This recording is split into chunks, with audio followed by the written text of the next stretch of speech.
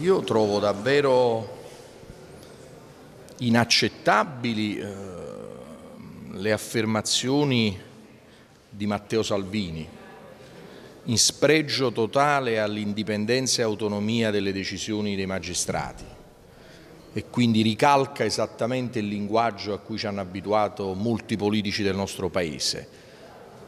Ma devo dire anche che sono spiacevolmente, ma non meravigliato, delle dichiarazioni dello sgabello politico di Salvini che è Di Maio, che Di Maio oggi ha fatto delle affermazioni parlando di sorpresa, meraviglia, sconcerto nei confronti di questo provvedimento della magistratura. Io davvero credo che lo Stato stia perdendo il senso dell'equità e della misura, il senso della divisione dei poteri previsti in magistratura. Trovo molto grave che vi sia una direzione politica sempre più pregnante di articolazioni dello Stato.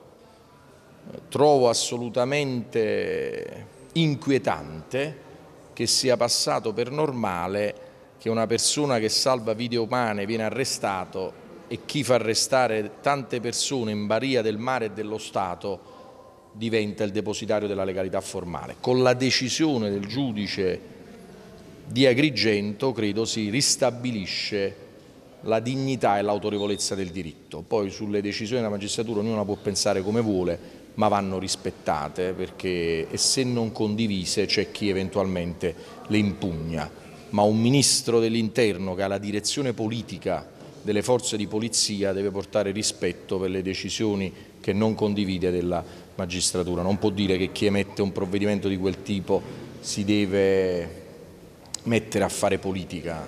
Davvero stiamo a un livello così scadente che credo questo governo, per quanto ci riguarda, sotto il profilo della dignità dello Stato, è abbondantemente scaduto.